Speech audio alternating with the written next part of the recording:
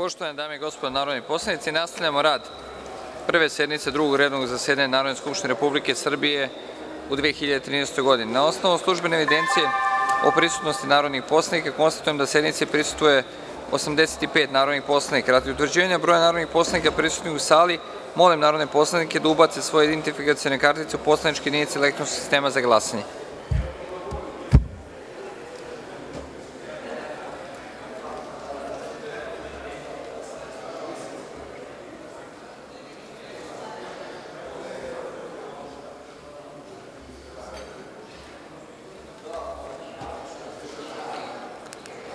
Konstatujem da je primenom elektronskog sistema za glasanje utvrđeno da je u sali prisutno 85 narodnih poslanika, odnosno da su prisutna najmanje 84 narodna poslanika i da postoje uslovi za rad Narodne skupštine. Obaveštavam vas da su sprečeni da sednici prisustvuju sledeći narodni poslanici: Jadranka Joksimović, Meho Omerović, Dragan Šutanovac, Igor Bečić, Miroljub Stojčić, Nenad Konstantinović, Ivan Andrić i Jelena Travar Miljević. Saglasno članu 90. stav 1. Poslovnika Narodne skupštine, obaveštavam vas da sam pozvao da sednici prisustvuje predsednik predlagača Miroljub Tomić, zamenik predsednika Visokog saveta sudstva. Nastavljamo rad zajedničkim jedinstvenim pretresom o predlozima odluka iz tačaka 13 do 20 dnevnog reda. S obzirom da su je lista govornika iscrpljena, ostalo je samo vreme koje je preostalo ovlašćenim predstavnicima i predsednicima poslaničkih grupa i naravno predlagaču. Pa sad pitam da li neko od onih iz ove kategorije ko nije iskoristio vreme želi reč? Janko Veselinović, šest minuta je vama preostalo, izvolite. Poštovani predsedavajući, uvaženi predstavniče Visokog saveta sudstva, dame i gospodo narodni poslanici, poslanici Demokratske stranke su tokom jučerašnje rasprave ukazivali na činjenicu da je izbor za najvažnije funkcije u pravosuđu došao u vreme kada stanje u pravosuđu nije ni malo sjajno. Naprotiv, konstatovali smo da nema ozbiljnijih pomaka u sređivanju stanja u pravosuđu, odnosno da se predmeti gomilaju, da je vera u pravnu državu sve manja, da predmeti zastarevaju i da Vlada u svom domenu nije učinila dovoljno, ja bih rekao učinila je jako malo na popravljanju situacije u pravosuđu, posebno imajući u vidu ugrožavanje nezavisnosti sudstva, pravosudnih organa, rada tužilaštva, o čemu imamo izveštaje Evropske komisije, pogotovo kada je reč o tabloidizaciji pravnih procedura u sferi suđenja preko tabloida, gde su tabloidi preuzeli ulogu tužilaštva, sudstva, dok se i od najviših državnih funkcionera umanjuje uloga, odnosno pravosudna vlast se ugrožava od strane izvršne vlasti. Ukazali smo i na nedoslednost u predlaganju kandidata, jer smo konstatovali da pojedini kandidati, i pored činjenice da su u svojim biografijama imali i vrlo neslavne epizode sa zastarevanjem predmeta tipa „Ilarion“, izabrani, odnosno predloženi za najviše sudske funkcije, usput smo pomenuli i činjenicu da je za vreme ove vlasti zastareo i slučaj „Jugoskandik“. S druge strane, rečeno nam je u obrazloženju da je za tog predsednika suda svoju podršku dala sudska da su dale kolege koje su predložile za predsednika Kasacionog suda navedenog sudiju. S druge strane, u jednom drugom slučaju, kada je u pitanju Upravni sud, imamo situaciju da je za predsednika Upravnog suda predložen sudija koji je među kolegama dobio apsolutno najmanji broj glasova. Dakle, ovde imamo pomešane i principe i u ovakvoj situaciji u pravosuđu, o kojoj je govorio i moj kolega Srđan Miković, gde biramo predsednika Apelacionog suda u Novom Sadu za nekoliko dana, jer je u međuvremenu od izvršne vlasti stigao predlog zakona koji će anulirati taj izbor, pa imamo situaciju da se niko od sudija iz Novog Sada nije javio za to mesto predsednika Apelacionog suda, verovatno su kolege znale da im je to uzaludan posao i da mi sada, pored činjenice da biramo predsednika na sedam dana, biramo sudiju koji uopšte ne potiče sa tog područja suda, ne poznaje kolege, ne poznaje stanje u sudstvu itd. Naravno, u međuvremenu smo dobili i niz informacija od advokata, od sudija o stanju u sudstvu, pa smo dobili informaciju da se ne rade analize efekata rada pojedinih sudija, da ne znamo koliko koji sudija ima nerešenih predmeta, da ne znamo ništa o njihovoj brzini rada i da se na bazi toga ne mogu izreći ni ocene, pa ni nekom sudiji da prestane sudijska funkcija, što piše u zakonu. Saznali smo, možda je to deo i samokritike, da Pravosudna akademija ipak daje mogućnost za neravnopravnost u izboru sudija, odnosno da stručni saradnici koji rade godinama u sudovima su u neravnopravnom položaju u odnosu na one koji završe akademiju, odnosno taj kurs i da praktično se na taj način stvara i mogućnost nepotizma i drugih negativnih stvari koje mogu da naruše nezavisnost sudstva.S druge strane, Zakon o parničnom postupku, imamo informaciju, je prilično teško primenjiv i dolazi do nagomilavanja i predmeta… Vreme. U tom smislu, DS smatra da je ovo samo segment jednog velikog i obimnog sadržaja koji neće doprineti poboljšanju stanja u sudstvu i zbog toga ćemo u danu za glasanje odlučiti kako glasati po pojedinim predlozima. Hvala. Da li još neko ko nije iskoristio svoje pravo u skladu sa Poslovnikom želi reč? Da li gospodin Tomić želi reč? Izvolite, samo ubacite karticu, molim vas. Prijavite se.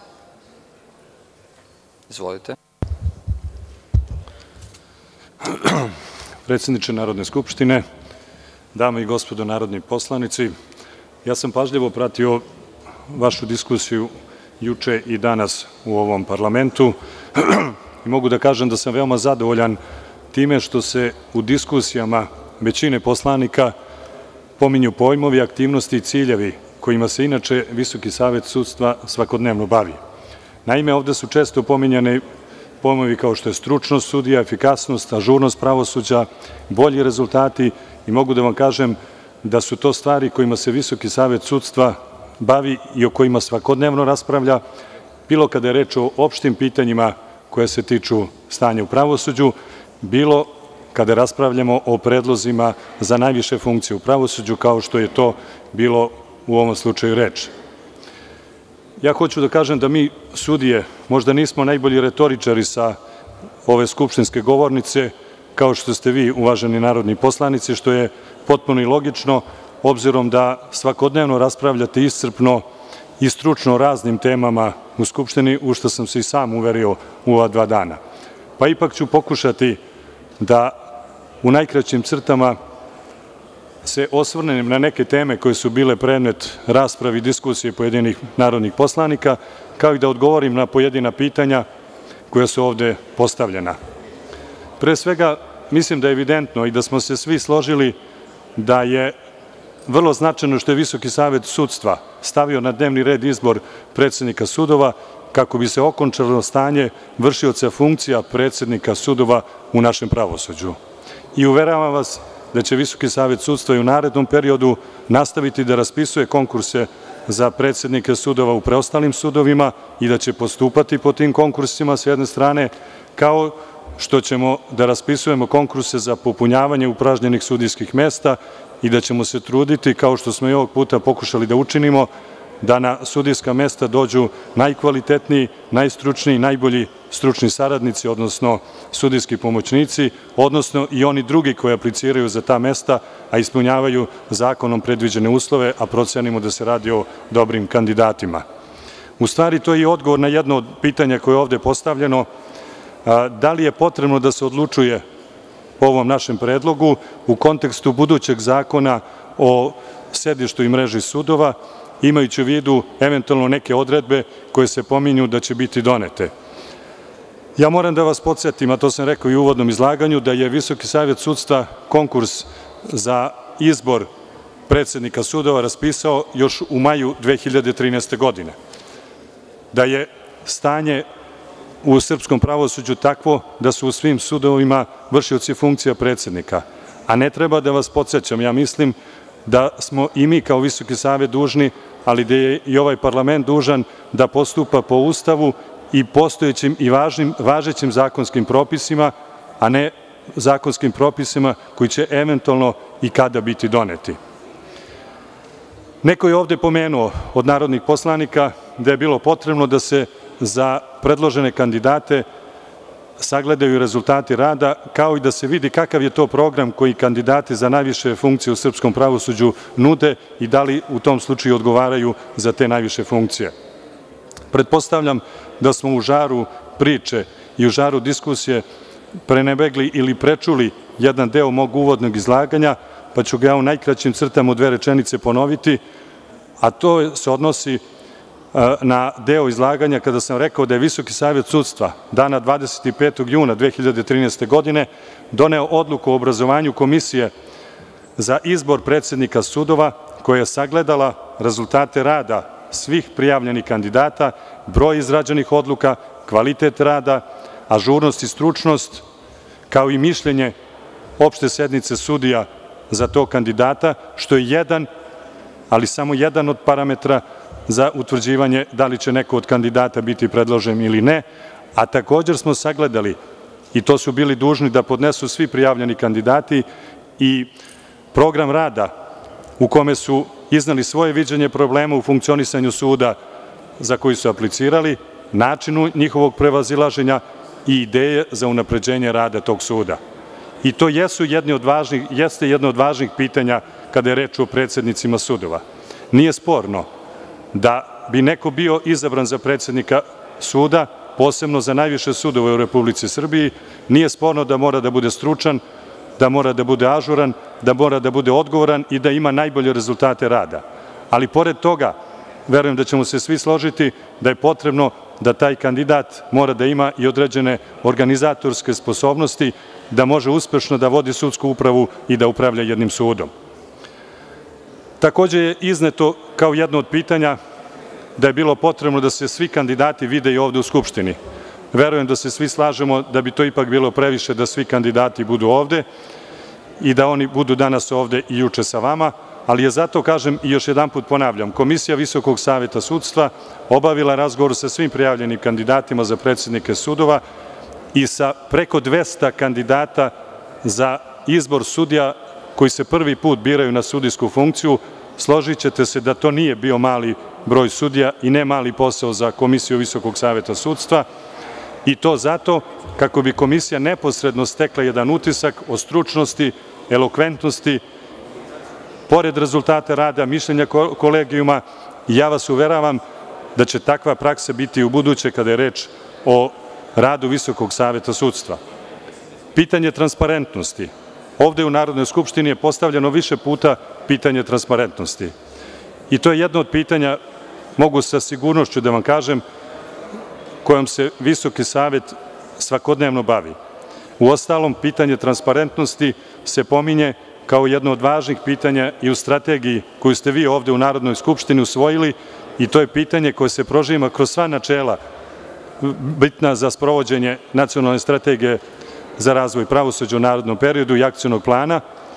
I ja mogu da vam kažem da smo se rukovodeći tim principom, da je Visoki savet sudstva oglasio javan konkurs, što je naravno bila i naša zakonska obaveza, zatim da je Visoki savet sudstva obavio intervjue sa svim kandidatima, da su ti intervjui bili javni, zatim da je sa ovim konkursom bila upoznata kompletna javnost Srbije, kako stručna, tako i ostala javnost, zatim da se o kandidatima koji su konkurisali i aplicirali na određena važna mesta u srpskom pravosuđu, kao i na ostala mesta vezana za sudijske pozive, da su se o njima izjašnjavali javno na kolegijumima, na opštim sednicama, da su se o tim kandidatima, ali i o drugim kandidatima izjašnjavale i advokatske komore i one organizacije iz kojih kandidati koji nisu bili iz redova sudija potiču i pitam se i pitam vas da li ste čuli za neki transparentniji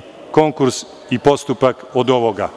Ali još jedan put kažem, to je način rada i stav koji je zauzeo Visoki savet sudstva i još jedan put vas uveravam da će transparentnost biti jedna od osnovnih načela kojim ćemo se pridržavati kao Visoki savet u svom budućem radu, jer se, verujem, svi slažemo da samo iz transparentnih postupaka mogu da se izrode kvalitetne i dobre odluke. Neko je ovde postavio od poslanika i pitanje donošenja i usklađivanja zakona o sudijama, zakona o pravosudnoj akademiji i drugim zakonima. Mislim da ne treba vas, kao republičke poslanike, da podsjećam da u sistemu podele vlasti postoji, kakva postoji u Srbiji, zakone ne donose sudije, zakone ne donose Visoki savet sudstva, već svi poštovani narodni poslanici, a da sudovi, odnosno sudije, sude na osnovu Ustava i važećih zakonskih propisa. Neko je ovde za skupštinskom govornicom tiho, ali jasno izgovorio da je sudijski posao težak i odgovoran. Ja ću sada ovde da kažem, jer verujem da me prati jedan deo javnosti ako se ovaj prenos prenosi na sredstvima medija i informisanja, da jasno i glasno kažem da je sudijski posao težak i odgovoran i verujem da se svi slažemo da gotovo da nema značajnije i odgovornije i teže funkcije od sudijske. I pitam se da li ima išta značajnije od odlučivanja o ljudskim sudbinama, o njihovim pravima, o njihovoj odgovornosti, o njihovoj slobodi, a donedavno su sudije odlučivale i o životu i smrti. Kada to kažem, nemojmo zaboraviti da je donedavno sudija okružnog suda bio u prilici da nakon sprovedenog krivičnog postupka izrekne i smrtnu kaznu. Ali ako sam ovo rekao, onda ću svakako reći da je vrlo značajno da upravo nosioci ove značajne funkcije, dakle sudijske funkcije, budu stručni, pošteni, efikasni i odgovorni. Neko je juče u Srbiji, u Skupštini, pitao koji je to broj sudija koji trenutno radi na funkcijama, sudijskim funkcijama u Srbiji. Trenutno u Srbiji ima oko 2900 sudija i napominjem da nije u potpunosti popunjena sistematizacija, odnosno ukupan broj potrebnih sudija u svim sudovima. I verujem da ćete se složiti, a to je svakako tako, a to je da je jedan od najvažnijih zadataka Visokog saveta sudstva da utvrdi da li su ove sudije uspešne i da li dobro i kvalitetno obavljaju svoju sudijsku funkciju. I ne samo to, nego da one najkvalitetnije afirmiše i da ih predloži za najviše sudijske funkcije i za najviše pozicije u srpskom pravosuđu, ali sa druge strane, da one sudije, a ima i takvih, koji imaju loše rezultate rada, koji dalje možda ne rade odluke po nekoliko meseci i ne rade u blagovremenom zakonom predviđenom roku, dakle, da se za njih u zakonito sprovedom postupku utvrdi njihova odgovornost i da se u srpsko pravosuđe uvede i zaživi i princip odgovornosti sudija. Ovde je više puta pominjano pitanje izbora, reizbora, neizbora, ponovnog izbora, poništavanja izbora itd. vezano za odluke Visokog saveta sudstva i tim pitanjem se Srbija bavi već nekoliko godina. Ali tačku na to je stavio Ustavni sud Srbije onog trenutka kada je doneo odluku o poništavanju odluka Visokog saveta sudstva. Znamo da su odluke Ustavnog suda takve da ih svi moramo poštovati, nakon čega su te sudije vraćene na svoje sudijske dužnosti. Ali to ne znači da su sve sudije koje su vraćene, kao i one koje su inače bile izabrane, i najbolje, i najpoštenije, i najstručnije, i najkvalitetnije. Pa je upravo zbog toga Visoki savet, držeći se i naloga koji je dao Ustavni sud u odluci kada je poništio odluku Visokog saveta sudstva, napravio razliku između tih sudija. Pa je tako, primjera radi, ovih dana, kada smo odlučivali o izboru pojedinih sudija u više pravosudne instance, nismo a priori izabrali za te više pravosudne instance samo one sudije koje su vraćene na osnovu odluke Ustavnog suda, već smo sagledali sve ukupnost njihovih rezultata, njihov rad upravo zato smo, sagledavajući dakle konkretno rad svakog sudije pojedinca koji sada radi u pravosudnom sistemu Srbije i neke od tih sudija predložili za najviše pravosudne funkcije, nalazeći kao Visoki savet sudstva da se radi o stručnim, dostojnim, ažurnim, kvalitetnim, sposobnim sudijama da obavljaju najvažnije funkcije u srpskom pravosuđu. Iskoristit ću ovo prilike, oduzet ću vam samo još par minuta i reći još nekoliko rečenica, samo da vas podsjetim i da nas sve podsjetim da se očekuje usvajanje seta pravosudnih zakona ovde u Skupštini i ovom parlamentu, da se očekuje i nova mreža sudova, da je nedavno započela primjena novog zakonika o krivičnom postupku, zatim da ste vi kao parlament nedavno usvojili strategiju razvoja pravosuđa i akcioni plan za njeno sprovođenje mogu da vam kažem kao predsedavajući Komisije za sprovođenje nacionalne strategije za razvoj pravosuđa u narednom periodu da sam svestan da je pred svim institucijama zaduženim za sprovođenje ove strategije jedan izuzetno složen, odgovoran, ali težak posao. A šta je u stvari zadatak strategije? Zadatak je da pravosuđe bude efikasnije, da bude ažurnije, da bude stručnije, transparentnije, ali i odgovornije. Nemojte pomisliti da sam se, baveći se ovim pitanjima koje sam prethodno izložio, makar na kratku dalji od teme koja je ovde danas na dnevnom redu. A na dnevnom redu je bavljanje predlogom Visokog saveta sudstva za konkretne sudije, za izbor na konkretne najvažnije funkcije u srpskom pravosuđu. I upravo sam ovo prethodno rekao, kako bih vam ukazao da je Visoki savet sudstva svestan svih ovih ciljeva, upravo vodio računa imajući u vidu sve kriterijume bitne za odlučivanje, a koje sam vam napred izložio i naveo, i zato je za čelnog čoveka srpskog pravosuđa predložio Dragomira Milojevića, nalazeći, to još jedan put ponavljam, da se radi o kvalitetnom, stručnom, odgovornom, ažurnom sudiji, koji kao takav predstavlja uzor svim sudijama u Srbiji i uživa njihovu nepodeljenu podršku, ali je Visoki savet sudstva predložio i ostale kandidate za ove odgovorne funkcije, zahvaljujući čijem radu, nadamo se, ćemo uspeti da ostvarimo upravo ciljeve koji su zacrtani strategijom koju usvojio ovaj parlament. Hvala vam. Hvala. Tučujem zajednički jedinstveni pretres o predlozima odluka iz tačaka 13 do 20 dnevnog reda. Prelazimo na zajednički jedinstveni pretres o Predlogu odluke izmeni odluke o broju i izboru potpredsednika Narodne skupštine, Predlogu odluke o izmenama odluke o utvrđivanju sastava stalnih delegacija Narodne skupštine Republike Srbije u međunarodnim parlamentarnim institucijama i Predlogu odluke o izmenama odluke o izboru članova i zamenika članova odbora Narodne skupštine Republike Srbije.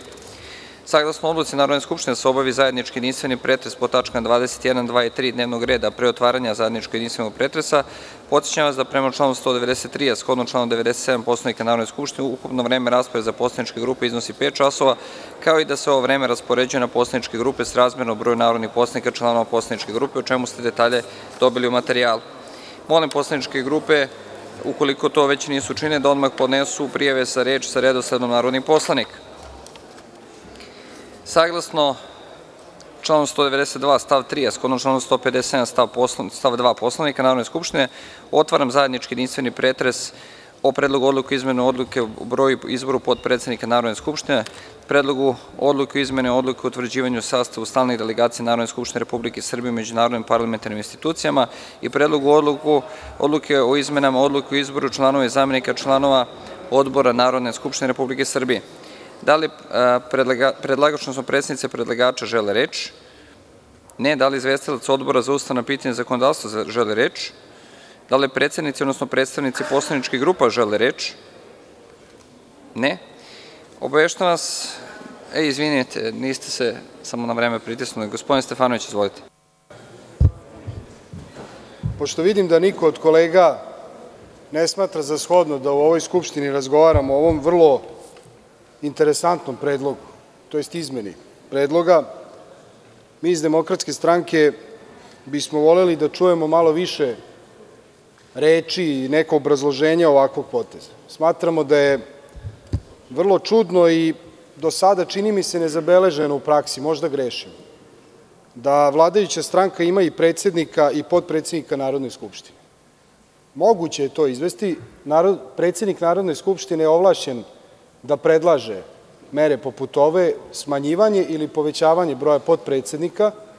Takođe je uobičajena praksa da se prethodno o tome razgovara na kolegijumu šefova poslaničkih grupa s predsednikom Skupštine. Obavešten sam da će kolegijum biti danas u 13 časova, ne znam da li je ovo tema, pretpostavljam da nije, ali složićete se da je ovo u neku ruku novi pokazatelj funkcionisanja vladajuće većine u ovoj Skupštini. Mi iz DS bismo voleli da čujemo neki odgovor. Zbog čega niko nije obavio konsultacije sa šefovima poslaničkih grupa, zbog čega dolazi do povećanja broja potpredsednika, da li postoji bilo kakvo racionalno obrazloženje, a ja verujem da postoji, zašto je u godini štednje, teških muka, tupih noževa i ostalog važno da imamo još jednog potpredsednika Skupštine iz iste stranke u suštini mi bismo voleli da u tom smislu imamo jedan konstruktivan razgovor bez ulaženja u to ko je kandidat, pošto očigledno još niste našli za shodno da nas o tome obavestite. Mi ne vidimo u čemu će biti poboljšanje rada Skupštine povećanjem mesta za još jednog potpredsednika u situaciji kada je u ovoj Skupštini prilično nejasno ko je vlast, ko je opozicija, mislim osim Demokratske stranke, tako da u toj konstelaciji snaga vi donosite ovakav predlog, tj. izmenu odluke. Da li se iza svega ovoga krije nešto što se ovde po kuloarima Skupštine spominje, a to je da u SNS dolazi do određene preraspodele političke moći i uticaja? Da li posle veličanstvenih mitinga i demonstracije ljubavi prema predsedniku stranke mi sada imamo određeno prestrojavanje, da ne kažem rokade u okviru vaše većine? Ono što je sigurno je da sada, ako je tačno ono što naslućujemo, ograđujem se, mi vidimo da gospodin Babić, koji nije prisutan trenutno, postaje predsednik poslaničke grupe SNS, gospodin Arsić odlazi sa tog mesta, neko vreme obitava u sali bez jasno opredeljenog funkcionalnog pozicije za sebe, iako je tačno da će to biti vaš kandidat, to u velikoj meri objašnjava jako, jako čudne procese koji se dešavaju kod vas. I to je vaše pravo i to je legitimno. Ali bi bio red da o tome na neki način ipak otvoreno razgovaramo, pošto bismo mi voleli da čujemo neko obrazloženje zbog čega se uvećava broj potpredsednika, zašto se to radi mimo konsultacija i da li to označava narodski rečeno udomljavanje jednog od vaših do sada visokih funkcionera u ovoj Skupštini u odnosu na drugoga ko je možda na lepši način, da se slikovito izrazim i pesnički pevao o vođi. Dakle, ako je to tačno, mi bismo voleli zbog čega se takva nepravda nanosi jednom od vas, koji je pokazao izuzetan visok stepen profesionalizma, ljudskosti i konstruktivnosti i koji sada mora da bude jedan od potpredsednika. Naša bojazan je u pitanju, ja ne tvrdim da je to tačno, ali plašim se i strepim od toga da ćemo imati jedno sedište više ovde i jednog potpredsednika više, a u suštini da o tome niko ozbiljno nije razgovarao, niti da smo čuli bilo kakav predlog. Meni je drago da je gospodin Stefanović tu. Pretpostavljam da ćete moći nešto da kažete o tome. Naša pitanja su prilično precizna i voleli bismo da čujemo bilo kakav odgovor. Hvala. Reč ima predsednik Skupštine Nebojša Stefanović. Poštovane dame i gospodo, naravno da ja razumem set političkih pitanja koje je uputio moj prethodni govornik i to je njegovo pravo da naravno u ime svoje stranke postavi takva pitanja. Ono što se, o čemu se ovde radi je vrlo jednostavno. Narodna skupština i određenim odlukama na koje smo se obavezali u prethodnim sazivima, vezano za formiranje odbora za stabilizaciju i pridruživanje, koji će biti uskoro formiran, ja sam uputio već svim poslaničkim grupama dopise, ali određenim, da kažem, poslovima koji nisu vezani samo za evropske integracije, već i, da kažem, povećanu aktivnost Narodne skupštine na drugim poljima, vidite da sad imamo mnogo aktivniji rad odbora, vidite da se to sve i direktno prenosi preko interneta, vidite da smo, da kažem, povećali nivo aktivnosti Narodne skupštine, što mi je veoma drago. Postoji jedna objektivna potreba da kroz veći broj potpredsednika koji zastupaju Narodnu skupštinu, meni je drago da se to u ovom sazivu dešava prilično intenzivno, da potpredsednici Narodne skupštine imaju veoma važnu i uvaženu ulogu u ovom domu, imamo potrebu da se taj broj potpredsednika poveća. I ova odluka koja je danas pred nama ne prejudicira ko će to biti, niti iz koje poslaničke grupe, jer to nije po Poslovniku. To možemo da uradimo tek u narodnom koraku. Dakle, ova odluka samo povećava broj sa dosadašnjih pet na šest potpredsedničkih mesta. Pri čemu je to broj potpredsedničkih mesta koji je bio u prethodnom sazivu, dakle, dešavalo se tako i ranije. Međutim, nema ništa problematično u tom smislu. Što se tiče Srpske napredne stranke, mogu da kažem, kod nas je sve dobro, nemojte da brinete za nas, brinite samo pojedine stranke ne mogu da nađu u svojim prostorijama trećeg za preferans, ja znam da je to veliki problem za te stranke, ali što se nas tiče, mi ćemo vrlo lepo izaći na kraj sa svim problemima.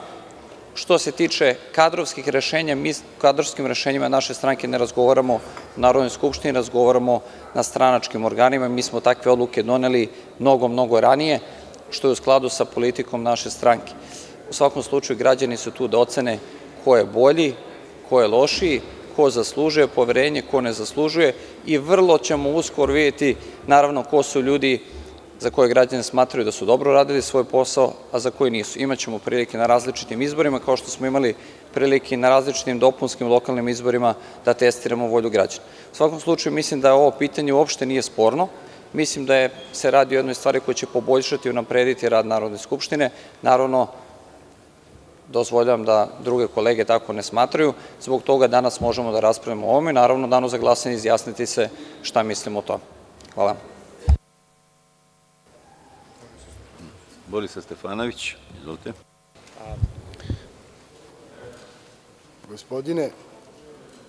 Gospodine Stefanoviću, meni je žao što ipak suštinski niste odgovorili na pitanje. Ako uporedimo rad Narodne skupštine iz ove godine, računajući i tu, jest uzimajući u obzir i izbornu godinu 2012. u odnosu na 2011. mi imamo za 50% manje radnih sati kao Narodna skupština, a tražite da povećamo potpredsednika za jedno mesto. To je prva stvar. Drugo, ja mislim da je jako dobra stvar što ste rekli da to ne prejudicira ni ličnost, ni partijsku pripadnost. Mi smatramo da je to pozitivno što ste rekli. Demokratska stranka svakako misli da računa na još jednog potpredsednika, ako je to tačno što ste rekli, i mi ćemo u tom smislu vama i predložiti da imamo još jednog potpredsednika, pošto ste rekli da to ne prejudicira da je u pitanju SNS. Međutim, to nije tako. I vi to znate i ja to znam i građani Srbije to treba da znaju. U pitanju jeste jedna rokada u vašim redovima koja je posledica vrlo čudnih odnosa, dubinski koji se prostiru na vrlo negativan način i kod vas nema problema za trećeg za preferans, ali ima problema da nađete treći sto, pošto na tri stola igrate preferans. To je razlika, razumete? Možda neko ima treći za preferans, ali vama fali više stolova jer na istom ne možete da sedite, ne zbog masovnosti, već zbog toga što različito mislite, delujete i različite interese imate.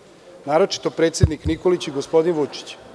Ali kao što ste rekli, to jeste vaša stvar ali istovremeno jeste stvar Republike Srbije, zato što su posledice ovako čudne odluke. Dakle, nije nam jasno, razumeo sam šta ste rekli za odbore, to je u redu, mislim da je to ispravno, ali mi nije jasno koji je to obim posla koje gospodin Arsenović, gospođa Čomić, gospodin e, Korać, ima ih tu još, do sada ne obavljaju na pozitivan i dobar način, gospođa Kovač. Dakle, objasnite mi šta oni to manje rade ili ne rade dovoljno da bi trebao da se uveća broj, potpredsednika. Koji je to odnos snaga, koja je to umešnost, koji je to profesionalizam, koja je to stručnost koje vi dovodite u pitanje za potpredsednike koje već imate oko sebe. Dakle, to je vrlo interesantno viđenje koje smatram da biste mogli bolje da objasnite. Hvala. Hvala. Ima reč Nebojša Stefanović. Dakle, ni u jednom trenutku, a više puta sam to isticao i na jednoj od prethodnih sednica. Uopšte se ne radi o tome da ja smatram da su dosadašnji potpredsednici na bilo koji način radili svoj posao loše. Naprotiv, više puta sam ih javno hvalio i zahvalan sam mojim ljudima što su, bez obzira što većina njih pripada opoziciji, preuzeli deo tereta na svoje leđe, što je u opisu njihovog posla i ja sam na tome zahvalan. Dakle, e, potpredsednice Narodne skupštine imaju i druge obaveze. Gospođa Čomić je, na primer, danas dobila poziv da zvanično bude posmatrač OEBS-a u Tadžikistanu i ona ima obavezu da isprati kao u ime OEBS-a da bude kontrolor tih izbora, na primer. Dakle, to sam uzeo samo kao jedan pozitivan primer dešavanja u Narodnoj skupštini. Ugled Narodne skupštine se tako povećava. Gospođa Kovač me je zamenjivala u bezbrojnim situacijama. Zahvalan sam što je gospodin Arsenović koji to čini u ovom trenutku, više puta profesorno, gospodin Korać i svi ostali potpredsednici. Ali, pošto smo povećali, iako mi naravno, možda kad bi se gledalo statistički, imamo manje radnih sati u plenumu, mislim da imamo značajno ve- veći broj radnih sati u odborima, značajno veći broj javnih slušanja, što je suštinski odlična priprema za plenum. Ne meri se rad samo usvajanjem broja zakona, ne samo kvantitetom. Usvajani su mnogi zakoni, pa smo videli efekte koje su ti zakoni ostavljali na naše društvo i našu ekonomiju. Mnogi zakoni, ali ljudi ostali bez posla. Mnogi zakoni, stotine hiljada radnih mesta manje. Pa onda ne možemo baš da kažemo da ta skupština bila fantastična i fascinantna za većinu građana Srbije. Dakle, mislim da je ovaj posao veoma važan da se uradi. Da li smo mi počeli procese koji su loši ili ne, mislim da su i građani Vrbasa i građani Zemuna veoma jasno stavili do znanja ljudima za koga misle da svoj posao radi dobro, a ko je u poslednjim godinama unosio destrukciju naše društvo i uticao na to da građani danas žive loše. U svakom slučaju imaćemo izbore ispred nas, hvala Bogu, je demokratsko društvo, pa će građani moći da se odluče o ovom.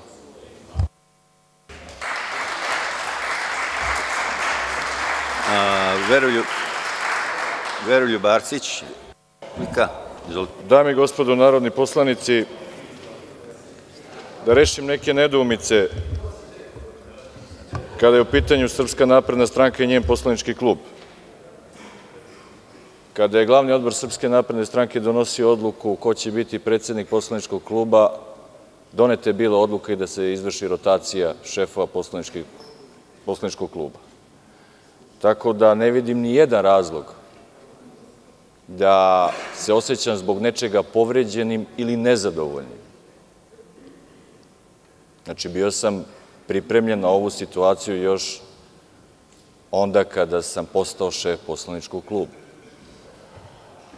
Bila mi je čast što sam bio šef poslaničkog kluba Srpske napredne stranke, čast mi je što sam zamenik predsednika poslaničkog kluba Srpske napredne stranke i bila bi mi čast i da sam najobičniji poslanik Srpske napredne stranke.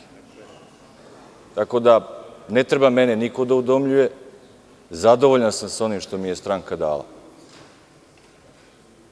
I to doživljavam kao jednu veliku moralnu satisfakciju za sve ono što smo, dok smo pravili stranku, kroz kakvu smo, da kažem, jednu medijsku golgotu prolazili u tom proteklom periodu.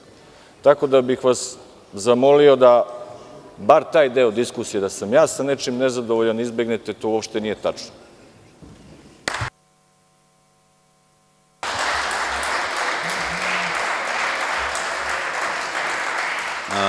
Replika Borisa Stefanović. Izvolite.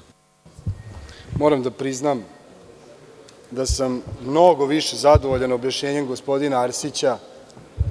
Gospodine Arsiću, svakam čast, vaš ton je govorio hiljadu reči i mislim da ste pogodili suštinu. Hvala vam na ovom detaljnom prikazu, vrlo da kažem, skoro grafičkom prikazu toga kako svaki stranački vojnik treba da podnese ono što mu se dešava.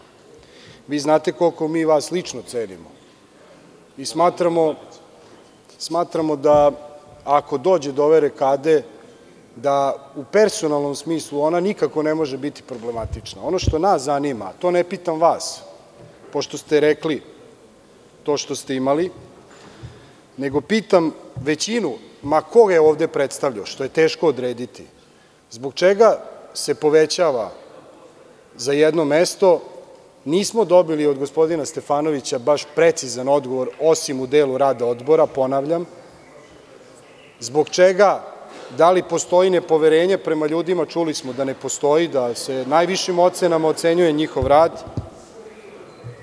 Dakle, ako nije ovaj ton i ovaj pogled u daljinu građanima Srbije objasnio šta se u stvari dešava, da ste sklonili jednog čoveka i sada treba da ga stavite na jedno mesto, pri čemu mi kao Demokratska stranka imamo mišljenje o tome ko je tu bolji, ko je lošiji, mislim da se to vidi iz mog izlaganja, ali to je sekundarno u ovoj situaciji, mi smatramo da samo iz tih razloga, ni zbog čeg drugog, da se povećava broj potpredsednika, čini nam se teško objašnjivim i malo u suprotnosti sa svim onim najavljenim merama štednje, pa čak i kad se govore na skupovima koji traju 10 dana i koštaju stotine hiljada evra, poput vaših skupova za jubilej tzv. Prema tome, završavam, mislim da je to nešto što pretpostavljam da će izazvati polemiku, gospodine generale, ali ja moram da kažem da bih voleo, ne od gospodina Arsića, već od nekog drugog, da čujem jasno objašnjenje zašto to radite, a zašto to radite sa ovim čovekom. Hvala. Ima predsednik Skupštine Nebojša Stefanović.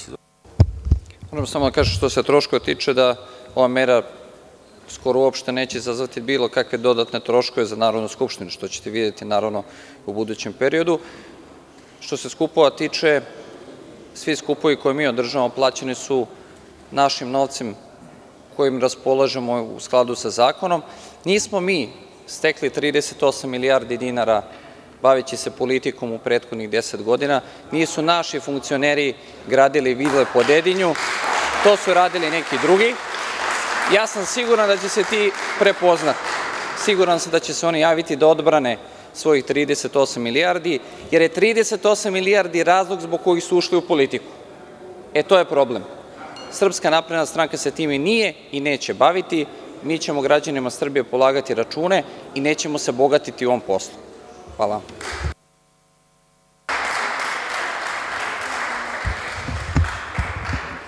Replika, Borislav Stefanović. Ja vas molim, dobro, ali ipak ste... Ako predsedavajući... U dijalogu ste, gospodine.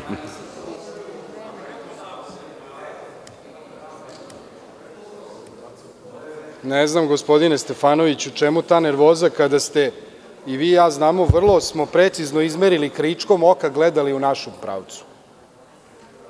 Tako da ste se vi na neki način pokušali da prilepite Demokratskoj stranci, što radite već mesecima, nešto što ne stoji. Ja vas molim, gospodine. Nešto što nije u skladu sa istinom, nešto što je neizmerljivo i nešto što ponovo pokušavate da kriminalizujete Demokratsku stranku, što vam naravno neće uspeti. Zato što nije u redu da o milijardama pričaju oni koji troše milijarde građana ove Srbije na potpuno pogrešan način i nije u redu da o milijardama pričaju oni koji su iz vaših redova već ekonomski i finansijski zavili Srbiju u crno. E, to je vaša proslava pet godina. I ne znam zašto na taj način sad reagujete. Ja pričam sa vama potpuno na pristojan način, ne znam zašto ste nervozni. Niti vas lično nešto spominjem, niti vas napadam. Zašto tako reagujete?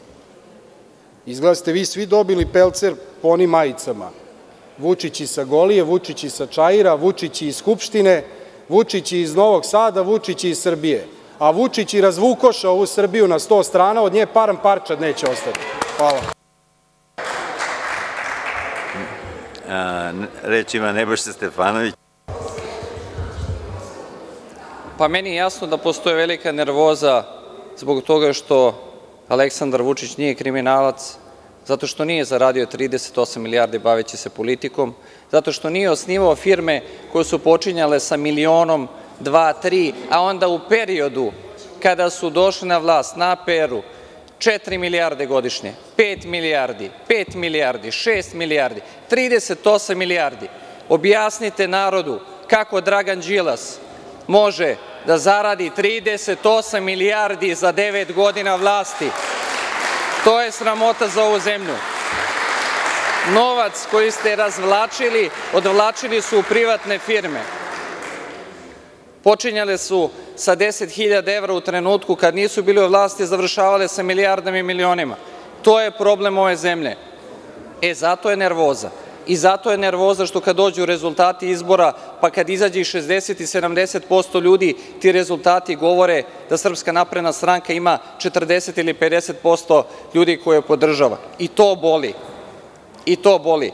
A mi se trudimo da ovu zemlju vratimo na neki normalan put, da konsolidujemo, da se ne izdvajaju milijarde i baca novac na nešto što ni na koji način ne stoji. A ovo su podaci iz APR-a.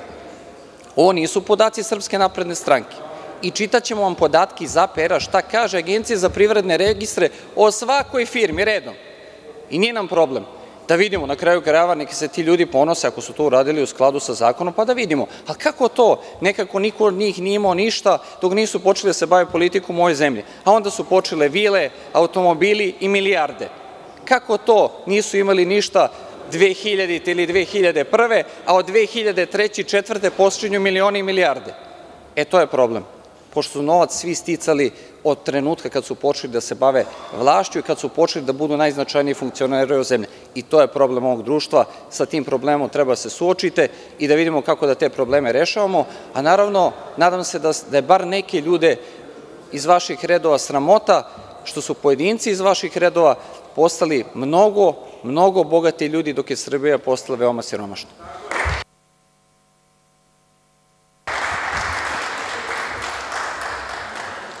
A, gospodine Stefanoviću, daću vam reč samo da vas upozorim. Znači, tok rasprave sada krenuo u pravcu mimo dnevnog reda. Molim vas, molim vas.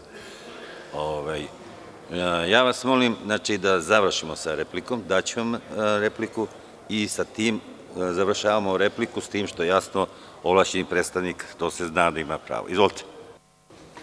Meni je žao što je tok rasprave otišao u pogrešnom pravcu, ali ipak moram da kažem da je to odlučivanje u vašim rukama. Naime, lepo smo postavili pitanje zašto povećavaju broj podpredsednika, spomenuli smo nepotrebne troškove u godini štednje i tupih noževa, a dobili smo uvrede i laži. Na to niste reagovali, trebali ste. Dakle, da bismo izbegli ovakvu situaciju, onda morate prekinuti gospodina Stefanovića s obzirom da iznosi potpune neistine ili paušalno ih lepi.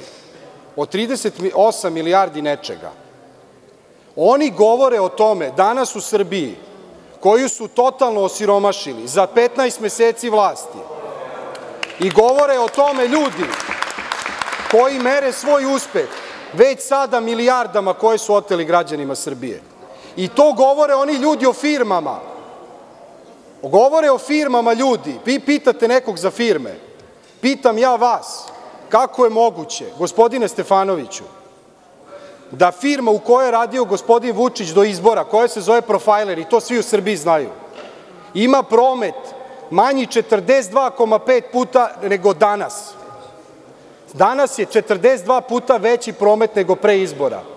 Kako je to moguće, gospodine Stefanović? Hoćete da vam pričamo po Srbiji šta rade vaši ljudi? Hoćete o Mikiću da pričamo? Hoćete da pričamo o železnicama gde vaš direktor traži od radnika da dođu na vaš miting? I o drugim javnim preduzećima, ako ne dođe, snosiće posledice. Pa to je Srbija koju vi pravite. Manite se vi toga 40%. Tih vaših 40% svaki dan je sve manje, a lepo je nama što vi živite u iluziji.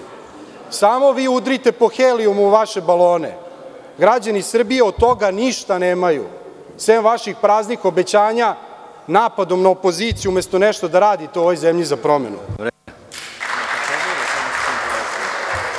Reč ima Nebojša Stefanović. Pa žalosno je da se nešto radilo od 2008. do 2012. ne bi bili u ovako teškoj situaciji. To je žalostno. I naravno sve što sam rekao je potpuno tačno. Svaki cifra i svaki podatak. Firma Direct Media je imala od 2003. do 2012. promet od 38 milijardi dinara. Pogledajte na sajtu Agencije za privredne registre. Ali to je samo jedna firma. Ali to je samo jedna firma. Imamo drugih firmi. Naravno da je tema. Kada se pomene, znači tema može da bude Aleksandar Vučić, ali ne može da bude Dragan Đilas. Dakle, ono što je, ono što je naravno važno za ovu raspravu, da se mi vratimo na ono što je tok rasprave. Tok rasprave kaže da imamo povećan rad parlamenta, mislim da je to opravdano u odnosu na ono što smo čuli danas, da se broj potpredsedničkih mesta poveća, naravno u skladu sa proporcionalno sa snagom poslaničkih grupa, o tome ćemo sesti i razgovarati i to nije tabu tema. Dakle, nadam se da će se rasprava vratiti u okvire, ali naravno kad god želite da ukrstimo bilo kakve argumente, mi smo spremni. Hvala. Da li još neko od ovlašćenih predstavnika želi reč? Olgica Batić, izvolite. Uh, Hvala. Pa ja se neću baviti pitanjem ko je trošio koliko milijardi, da li je trošio ili nije, da li će trošiti i tako dalje, ali kada moj kolega iz Demokratske stranke Borislav Stefanović kaže da niko sem Demokratske stranke nije zainteresovan da učestvuje u raspravi, onda to jednostavno nije tačno. Ima mnogo nas i nebrojeno puta smo upravo mi dokaz da hoćemo da učestvujemo u raspravi, ali ne možemo zbog silnih replika u koje non stop ulazi Srpska napredna stranka i Demokratska stranka i onda ostale poslaničke grupe naravno uvek ostaju taoci. Da sam se ja prijavila za reč, prijavila sam se naravno. E sada, neću naravno komentarisati ni izjavu, jedino je Demokratska stranka opozicija i niko više pročitaćete svi u transkriptima onako začuđenih pogleda ovde prisutnih pojedinih poslaničkih grupa, posebno onih što dolaze iz opozicije, ali dobro, bože moj, neko to tako doživljava. Što se tiče samog predloga odluke o izmeni odluke o broju izboru podpredsednika Narodne skupštine, mislim da je to tema kojom danas treba da se bavimo. Nije tema ni Vučić, ni Đilas, ni Direct Media, niti bilo ko kad bude bilo na dnevnom redu. Rado ću pričati i o tim temama. Naime, što se tiče dosadašnjeg broja podpredsednika Narodne skupštine. Mislim da su, kao što je već rečeno, počevo od gospođe Čomić pa do svih ostalih, vrlo odgovorno obavljali svoj posao. Što se tiče povećanja broja Narodne skupštine, da, tačno je da smo u nekim naznakama videli da postoji povećanje rada tog Narodne skupštine, rada naravno Narodne skupštine, a jedan od tih pokazatelja recimo jeste i usvojen skupštinski budžet, pa smo kao članovi, a ja sam jedan od članova administrativnog odbora, mogli da vidimo šta piše i jeste, tačno je, tu piše povećanje rada i povećanje obima i taksativno se navodi sve ono što će Narodna skupština raditi u narednom periodu. Dalje, što se takođe tiče, neću dovoditi ni u kakav kontekst to povećanje broja podpredsednika Narodne skupštine, neću ni personalizovati, niti govoriti o tome da li će neko biti svoj, naravno, politički stav zadržaću ovom prilikom za sebe, ali mislim da je jako pogrešno kada se kaže da se zapravo neosnovano sada povećava broj potpredsednika Narodne skupštine kada zapravo otpočinjemo sa merama štednje. Mislim jednostavno da to nije tačno, a ako me pitate što nije tačno, onda ću vrlo transparentno reći, pa mislim da se taj broj povećava samo za određeni period, a da će u nekom narednom periodu mi dalje i Narodna skupština i dalje imati pet potpredsednika. Hvala. Hvala. Pošto niko se više od ovlašćenih predstavnika ne javlja, idemo na listu govornika. Prvi je na listi Janko Veselinović. Molim vas, prijavite se samo. Izvolite. Poštovani predsedavajući, poštovani predsedniče Narodne skupštine, dame i gospodo narodni poslanici, evo, za sve one koji možda nisu dovoljno u toku o čemu danas raspravljamo, ja ću ponoviti. Dakle, tema današnjeg dnevnog reda jeste zahtev predsednika Narodne skupštine Republike Srbije da se broj potpredsedničkih mesta poveća sa pet na šest.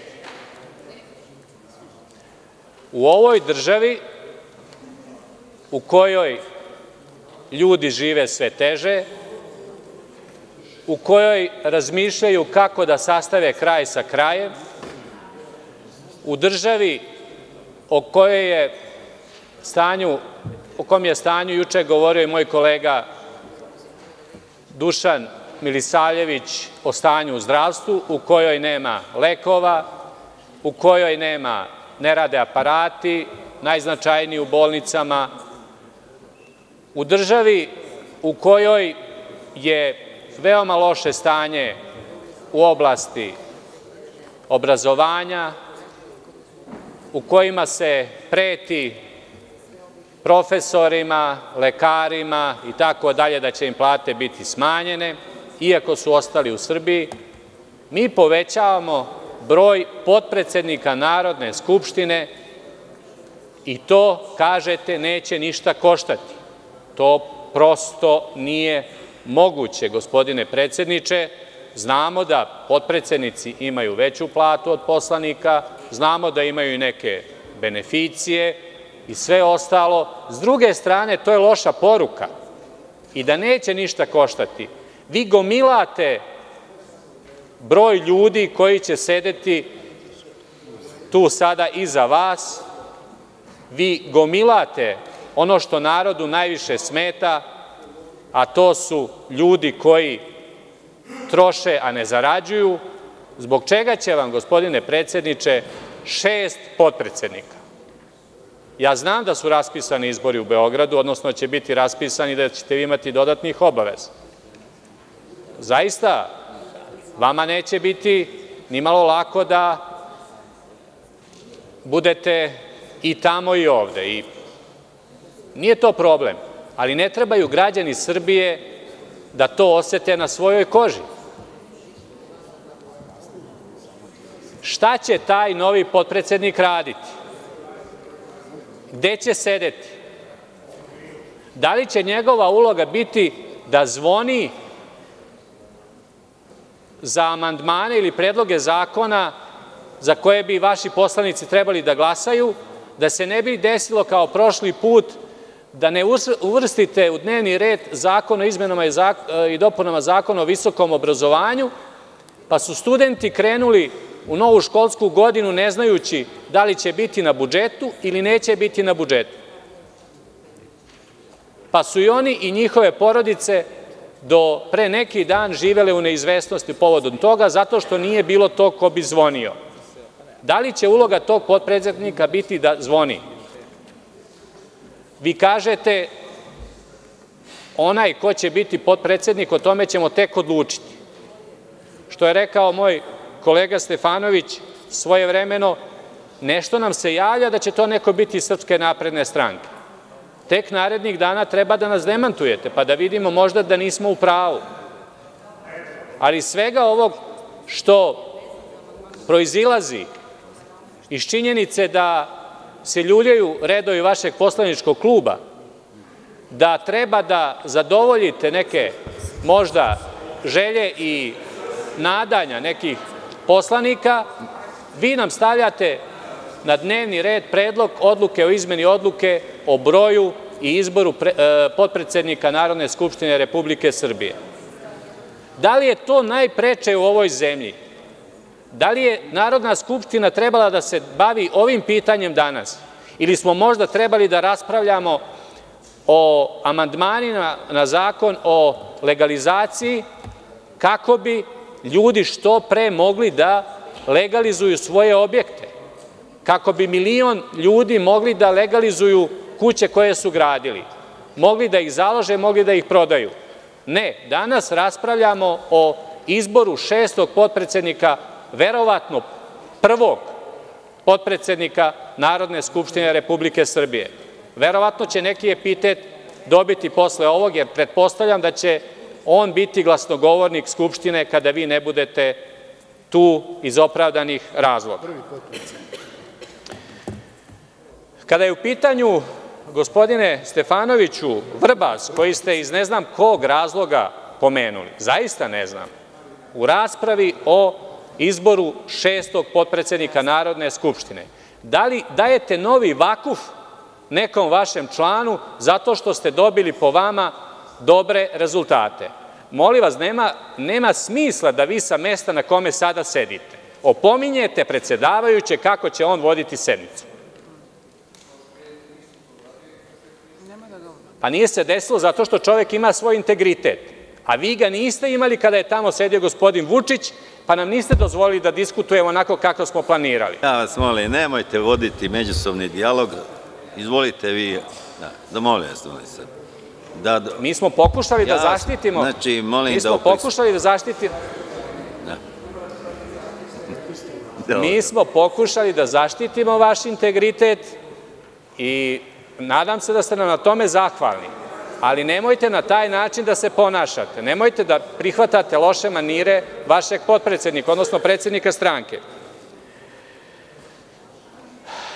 Dakle, ne možemo podržati predlog da Narodna skupština u narednom periodu umesto pet ima šest potpredsednika, ne možemo prihvatiti objašnjenje koje ste nam dali, ne možemo prihvatiti da je ovo prva tema kojom treba da se bave narodni poslanici u Skupštini Republike Srbije, smatramo da je ovo dokaz da jedno govorite, a drugo radite, o tome imamo puno dokaza do sada, pričali ste ovih dana o tome kako je Srbija bolesna, kako je pred kolapsom itd, što danas nije ovde gospodin Krstić da nam izloži svoje spektakularne mere kojima će uštedeti građanima Srbije, odnosno u kojima će država uštedeti. Zašto ne pričamo o tome, nego pričamo o tome da vama treba šest potpredsednika da bi mogli uspešno da vodite Narodnu skupštinu Republike Srbije. Zašto ste, gospodine predsedniče, pristali na taj dogovor unutar stranke koji vam je verovatno samo izložen? Ja ne verujem da je to vaša lična volja. Pa vi tu nećete imati vazduha.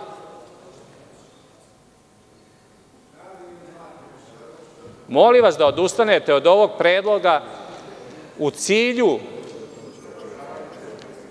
onih svih predizbornih obećanja koje ste dali građanima, u cilju izneverenih obećanja, u cilju da ovoj Skupštini vratite dignitet. Neće ova Skupština dobiti veći kredibilitet kod naroda ako odavde ode vest da vi tražite da imate šest potpredsednika, da udomljavate vašeg stranačkog kolegu. Odustanite od ovog predloga da pređemo na sledeću tačku dnevnog reda. Hvala. Reč ima predsednik Skupštine Nebojša Stefanović. Izvolite. Ja znam da ste vi, gospodine Veselinović, Pajtićeva struja demokratskoj stranci, vas ne boli mnogo kad se priča o Đilasu, to vas ne interesuje mnogo i niste vi jedini, naravno, u poslaničkoj grupi. Ali, ti dezintegrativni procesi u vašoj stranci nas previše ne zanimaju. Međutim, kada govorimo o troškovima, ja ću vam za jednu od sledećih sednica pripremiti detaljan izveštaj o troškovima vašeg predsednika Narodne skupštine, gospodina Dulića, pa ćete da vidite koliko puta je gospodin Dulić leteo malim avionom, koliko je to koštalo građane Srbije i samo jedan njegov let je koštao više nego cela godišnja plata jednog narodnog poslanika. Ja nikada nisam ušao u taj mali avion, nikada nisam to platio, niti je to platila Narodna skupština. Kad sam negde išao, a vrlo smo mi skromni troškovi, možete da vidite, leteo sam redovnim linijama, redovnim linijama našeg nacionalnog prevoznika. I videćete, pripremiću vam da vidite koliko ste vi pažljivo vodili računa o troškovima Narodne skupštine kad ste predsedavali i kad ste mogli u praksi da pokažete šta je štednja. Pripremiću vam to da se iznenadite koliki su ti troškovi. I naravno, iz vašeg izlaganja očekujem ili sam očekivao da se vi onda ili odreknete mesta potpredsednika, da vaš potpredsednik podnese ostavku ili da ga i ne predložite, s obzirom da to povećava troškove. Pa ne želite vi valjda da učestvujete u tome. Ne želite vi valjda da učestvujete u povećanju troškova građanima. Pa vi ste onda jedna moralna stranka koja ne treba potpredsednik jer to povećava troškove građanima i šta će to da pravi dodatni trošak, odreknete se toga i vi kažete mi ćemo dati svoj doprinos u smanjivanju troškova. Ali naravno vi znate da to nije tako. Jedan potpredsednik u odnosu na platu narodnog poslanika prima toliko malu razliku u plati, a daje veliki doprinos. Šta to znači? Da nam ne treba, recimo, odbor za stabilizaciju i pridruživanje, da se odreknemo odbora. Nećemo da formiramo odbor koji bi nam trebao da bi bolje koordinirali i pratili proces pridruživanja Srbije EU, jer će to izazvati neku novu sednicu koja će imati neke troškove, gde će ljudi koristiti struju, uključiti računare i to će onda izazvati nove troškove. Takvom logikom nam ne treba Skupština. Hajde da je ukinemo, jer to stvara troškove. Ako bi se sveli na tu logiku, jer to je put kojim vi pokušavate, nas optužujete za demagogiju, a kažete da je najveći trošak za Narodnu skupštinu to što će imati jednog potpredsednika više. Ja mislim da je to užasno, užasno loša poruka građanima Srbije, da nam onda Narodna skupština suštinski ne treba. Jer ako ona neće raditi u nekom svom punom kapacitetu, šta će nam uopšte Narodna skupština? Bolje da je nema. A kako bi onda bili društvo? Ja se sećam još jednog, ne znam kako da ga nazovem, koji je u nekim vremenima govorio da Skupština, izbori i takve stvari koštaju. To nije dobro. Izraz demokratije je Narodna skupština. To je dobro za opoziciju. Opozicija ima prozor kroz Narodnu skupštinu u obraćanju javnosti. Ovo je mesto sa kog opozicija, pa i u današnjem direktnom prenosu, može da uputi svoje poruke, da kaže najbolje što misli. I naravno da kroz jedan dinamičan rad, ako hoćemo da narodni poslanici zaista mogu da se pohvale da su imali ozbiljan rad, da nešto rade u ovoj Narodnoj skupštini i da građani Srbije od toga imaju korist, onda moramo da radimo mnogo više na tome kako da povećamo ugled, ali i kako da se ti rezultati rada bolje vide. Mislim da je to mnogo važnija stvar od toga. Ja shvatam da vi pokušavate da napravite neki politički poen i da kroz ovu priču o jednom potpredsedničkom mestu više, kojim ćemo se vratiti na onaj broj potpredsednika koji ste vi imali u prethodnom sazivu, žao mi je što tada niste pokazali, i onom tamo pre toga, što tada niste pokazali štedljivost i sveli to na dva potpredsednika. Ne, tada ste imali šest potpredsednika i to vam je bilo u redu. To je bilo potpuno u redu. Ali sada zamerate nama zbog toga. Pri čemu mi to radimo da bismo u trenutku kad se posao Narodne skupštine poveća, kao što su istakli druge kolege, omogućimo da taj posao bude urađen u zaista minimum troškova. A budžet Narodne skupštine, koji je u poslaničkom delu manji nego što je bio ranije, pokazuje da smo i mi kao svi, i svi, kao poslanici bili odgovorni i u merama štednje i da smo pokazali da hoćemo to da pratimo. Naravno da moramo da smanjimo i putovanja, naravno da treba da smanjimo i sve ono što ne donosi korist Srbiji, ali naravno da treba da svoj rad održimo na onom nivou kojim to građani od nas zahtevaju. Jer onda bi bilo besmisleno da Skupština postoji u suprotno. Što ste rekli za zvonjenje, to je bio vaš izum, u stvari. Zvonjenje ste vi uveli, toga nije bilo u nekim prethodnim sazivima, vi ste imali potpredsednika za zvonjenje i vrlo je dobro obavljao taj potpredsednik svoj posao, tako da ste uvek znali za šta da glasate. To nije bilo u nekim prethodnim sazivima, ali od saziva gde ste vi imali predsednika Skupštine, zvonjenje je postalo redovna stvar. E, što se tiče zakona o studentima, moram da vam kažem da smo ga stavili na dnevni red tada kada ste vi rekli pitanje da li bi on i danas bio usvojen, pošto vidite da još nemamo dan za glasanje. Mi smo ga stavili na vanrednoj sednici mnogo ranije došao na dnevni red i studenti dobili ono što su zahtevali u najkraćem mogućem roku. Naravno, što se tiče amandmana na zakon o legalizaciji, da nismo ušli u ovu polemiku o temi koja ne zaslužuje ovoliku pažnju, potpuno se slažem, ti zakoni, možda bi ti amandmani već bili sada na dnevnom redu. Kada govorimo o legalizaciji, moram da vas podsjetim da je odlukom vašeg predsednika, tada gradonačelnika Beograda, da se novim statutom grada Beograda iz 2008. je osnovan sekretarijat za legalizaciju koji je recimo u Beogradu u potpunosti ukočio proces legalizacije. Imate skoro 400.000 predmeta koji stoje u sekretarijatu za legalizaciju i kao ovlašćeni predstavnik Znači, moram da vam kažem da tih 400.000 predmeta se skoro ne miču. Rešavaju se najspornijim mogućim tempom. Uređena je potpuna centralizacija Beograda kada pričam, pošto ste pomenuli legalizaciju, pa da vam kažem. Ja bih bio vrlo srećan da se to nije dogodilo i da smo o legalizaciji u Beogradu i drugim delovima Srbije mogli brže i efikasnije da razgovaramo. Ali naravno, niko vam nije branio da to uradite u prethodnih pet godina.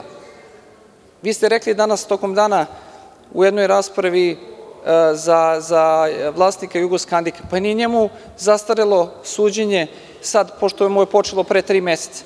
Kako to da u vreme kad ste vi bili na vlasti nije završeno? Što ste pustili da prođe pet godina?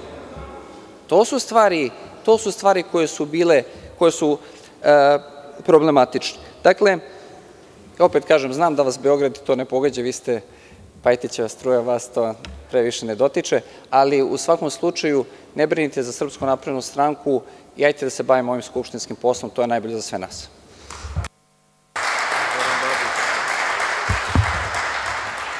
Replika Zoran Babić. Dame i gospodo, gospodine predsedniče, ja vam se zaista zahvaljujem što ćete nam dati priliku da se uverimo u troškove koje su ostvarivale prethodne skupštine, naročito skupština kojoj je predsedavao gospodin Oliver Dulić. Verujem da će biti prepuna optičkih kablova, ali ću vam izneti jedan podatak, a iznosiću ga u svakoj narednoj replici, svaki takav podatak ću izneti, a tiče se troškova koji su pravljeni u prethodnom periodu. Administrativni odbor i Skupština imenuju po dva člana u Visokom savetu sudstva i Državnom veću tužilaca. Vaš administrativni odbor, vaša većina, gospodo, je nadoknadu tim ljudima povećala sa poslaničkog dodatka od 30.000 dinara na šest prosečnih plata u Srbiji. Šest prosečnih plata je vredeo taj jedan advokat iz redova Demokratske stranke koje ste delegirali u Visoki savet sudstva i Državno veće tužilaštva.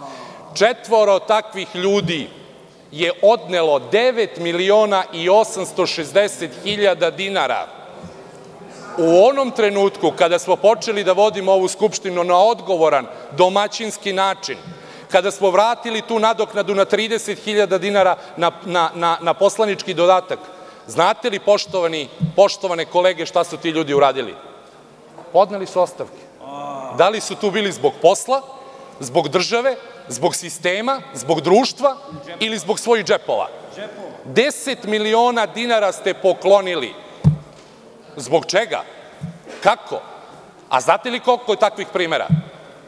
Što budete dalje oponirali ovakvoj jednoj stvari, kao što je predsednik rekao, ovo je vraćanje, ne povećavanje, nego vraćanje na nivo i na broj potpredsedničkih mesta koji su bili i u prethodnim sazivima i što je u dosadašnjoj demokratskoj parlamentarnoj praksi bila stvar džentlmenskog dogovora, a ne polemike. Samo nastavite. Ne boli vas ni potpredsednik Skupštine, ne boli vas ni to šesto mesto koje je Vreme, vreme, deo tradicije, boli vas podrška Srpske napredne stranke u srpskom društvu. U tome je problem vaš.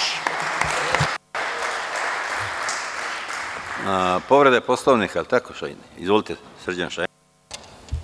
Ja sam se javio još ranije do povrede poslovnika kada je spominjan integritet bilo koga, naročito predsedavajućeg ili predsednika Skupštine, jer pitanje integriteta ne treba ovde da se spominje na taj način, on nema veze sa time. Ako hoćete da govorite o integri- integritetu pojedinaca, onda ajde da se dogovorimo da svi oni koji su šefovi poslaničkih klubova, predsednici Izvinite, odbora, niste mi svima se smanje koji- plate i nemojte da širimo demagogiju. Niste mi rekli koji član i šta? 107, izvinite. Hvala. Znači, član 107. Onda ajde da se smanje plate svima onima, a nema ih samo u poslaničkoj klubu jednog ili drugog, nego u svima. A sve ako ne govorimo o svima na isti način, onda je to čista demagogija. A, replika Janko Veselinović.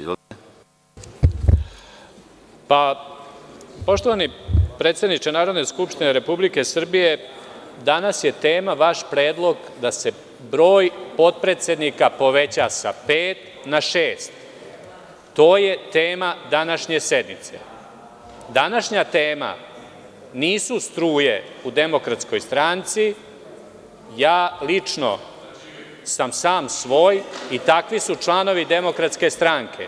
Niko nam ne sipa u glavu bilo kakve instrukcije na koji način ćemo disku, diskutovati i na koji način ćemo glasati.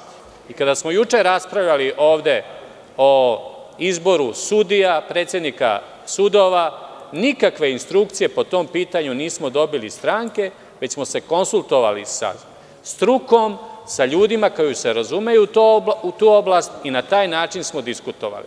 nismo dobijali telefonske poruke i brže bolje ih iščitavali i javljali se za reč. Tako da, predsedniče Narodne skupštine Republike Srbije, treba da nam odgovorite na pitanje čemu šest potpredsednika? Da li je to samo iz razloga što ćete vi u narednom periodu se posvetiti izbornoj kampanji u Beogradu? Kakva je poruka da mi tražimo da naš potpredsednik podnese ostavku da bi vi izabrali još jednog potpredsednika? Kakva je poruka, a što fali šest potpredsednika? Pa hajde neka budemo svi potpredsednici. Vi budete predsednik, a mi svi budemo potpredsednici. I da onda povećamo efikasnost, jer ćemo svi moći da dobijamo veće plate, jer ćemo svi moći da putujemo, jer ćemo svi moći da vas predstavljamo i zamenimo, kada vi niste tu. Hoćemo odgovor na jednu jedinu temu koja je danas tačka dnevnog reda. Zbog čega u teškoj situaciji za zemlju povećavate broj potpredsednika, gospodine predsedniče? Hvala. Reč ima Nebojša Stefanović, izvolite. Inače, moj stav je da je i broj poslanika preveliki u Narodnoj skupštini, a broj potpredsednika mislim da utiče na povećanje rada, da kažem intenzitet rada koji imamo. I davao sam primere gde su potpredsednici Narodne skupštine angažovani u različitim drugim aktivnostima, zato što posao potpredsednika nije samo da sedi ovde. Posao potpredsednika je da predstavlja Narodnu skupštinu, mnogi od njih su na sastancima sa različitim delegacijama, već sam naveo i međunarodno učešće i mislim da su to važne stvari za Narodnu skupštinu. Dakle, pošto nije ni posao predsednika ni potpredsednika samo da sede ovde i da predsedavaju sednicom. I mislim da je to nešto što svi treba da prihvatimo. Naravno, ja se slažem, svi narodni poslanici imaju pravo i da se odreknu svoje plate. Ja mislim da svi oni koji govore najviše o štednji, najbolji korak je da pokažu da se odreknu svoje plate i da rade pro bono za građane Srbije i to je potpuno u redu, ako ćemo da pričamo onda na takav način. Ako ćemo da pričamo na takav način da se smanjuju troškovi. Ja, naravno, ostavljam svakom poslaniku na volju da izabere kako će predstavljati Narodnu skupštinu. Pre svega se nadam da će sve kolege raditi na dobrobit građana Srbije, da će se angažovati u radu, da će dolaziti na sednice i na sednice odbora, da će u tim odborima davati svoj doprinos. Ja mogu da kažem da sam veoma zadovoljan odborom kojim ja predsedavam, ne govorim o sebi, već ljudima koji su angažovani u tom odboru, Odboru za prava deteta, zato što su sve kolege u tom odboru, pa i vaš zamenik predsednika, gospođa Lučić, veoma posvećeni i veoma dobro rade na ovoj veoma važnoj temi. Mogu da kažem da je to jedan od retkih odbora gde još nikad nismo imali glasanje koje nije bilo jednoglasno o temi o kojoj se radi. I ponosan sam zato što smo na takav način demonstrirali da kad su interesi dece, interesi građana Srbije na neki način najviše izloženi, da smo tu potpuno složni i da tu nema partijskih podela i pripadnosti. Ja zaista ne vidim da se oko ove teme diže prevelika prašina. Mislim da, kao što ste sami rekli, imamo važnijih posla danas. Čeka nas i sednice kolegijuma, mnogo važnije od toga, naravno, amandmani na zakon o legalizaciji i što pre završimo ovu temu koja očigledno ne vodi nečemu što će doprineti povećanju ugleda ni Narodne skupštine, niti bilo čemu dobrom za naše društvo, to ćemo pre moći da se posvetimo tim temama. I u tom pravcu vas i sve molim da krenemo napred. Hvala.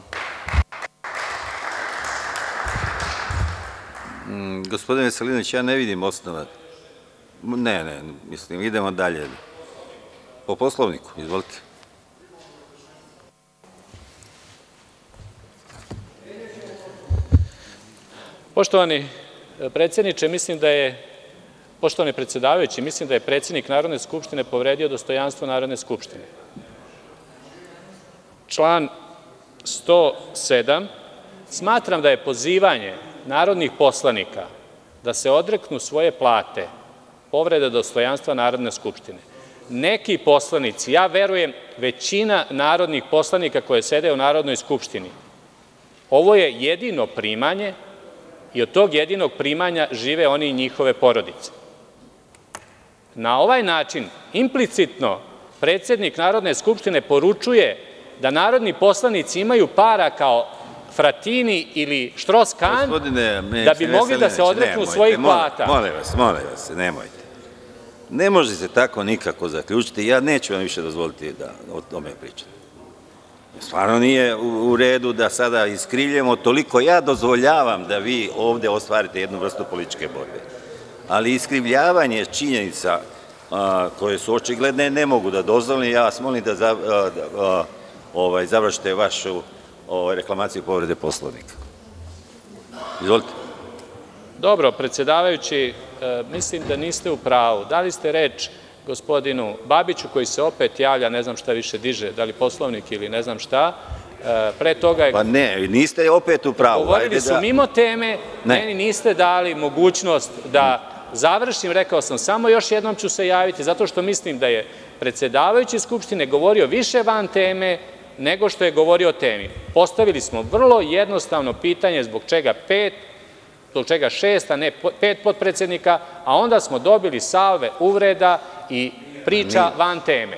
Molimo vas, vas molimo da nas opomenete kada pričamo van teme, ali molim vas da ne dozvolite vladajućima, pre svega poslanicima Srpske napredne stranke, da svaku diskusiju koriste o priči o prethodnoj Vladi. To nije tema. Danas je tema izbor broja potpredsednika. Hvala. Ja ću vam odgovoriti. Prvo sam reč dao gospodinu Babiću, jer ste vi direktno pomenuli njihov poslanički klub i to na uvredljiv način. Zato sam mu s pravom dao pravo na repliku. Zašto vama nisam dao pravo? Baš iz ovih razloga koje ste sad malo pre rekli. Predsednik Skupštine je dao obrazloženje, svoje obrazloženje zašto ide na predlaganje šestog potpredsednika Skupštine. Vi to imate pravo da prihvatite ili da ne prihvatite, to je vaše stvarno pravo, ali ja ne vidim više uopšte smisao obrazlaganja, jer je po mom shvatanju sasvim dovoljno jasno izneo zbog čega predlaže da se izabere još jedan potpredsednik. I zbog toga vam nisam dao pravo na repliku. Ja vas molim da nastavimo sa radom u skladu sa Poslovnikom, da završimo. Mislim stvarno da se politizuje ovaj problem. Gospodin Nebojša Stefanović. Ja samo hoću kažem u jednoj rečenici da je ovo izlaganje bilo upravo potvrda, ja sam namerno želeo pričom o plati da provociram ovakvu reakciju, jer je to isti nivo priče kao broju potpredsedničkih mesta. Ako pričamo da je povećanje za jednog potpredsednika i tih par hiljada dinara najveći finansijski problem za Skupštinu Srbije, onda je legitimna i priča o odustajanju od plate. Ako nije jedno, nije ni drugo. Hvala. Borislav Stefanović, po kom osnovu? Replika. Ali ne vidim osnov, gospodine Stefanović. A ne, vi ste se i malo pre isto ne vidim osnova. Ne vidim stvarno osnova da vam dam repliku, bez obzira što ste šef poslaničkog kluba, ali stvarno ne vidim osnova. Idemo mi dalje. Reč ima narodni poslanik Nada Kolundžija.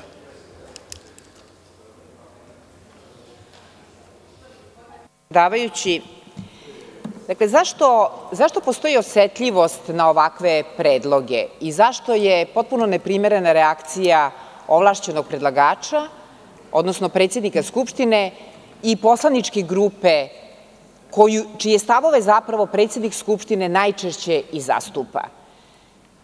Dakle, ja mislim da je iskustvo koje smo do sada imali, menjanje zakona zbog rešenja određenih kadrovskih, potreba da se čitav zakon promeni kako bi postavili nekog čoveka na neko mesto, daje nam za pravo da kažemo ova izmena koja se predlaže suštinski ne bi bila sporna, jer je pre svega u skladu sa zakonom da predsednik Skupštine predlaže potpredsednike, ovde se ne prekoračuje čak ni broj potpredsedničkih mesta koja su bila i do sada uobičajena, dakle, ne može se ovde govoriti o tome da je predsednik Skupštine na bilo koji način prekršio zakon.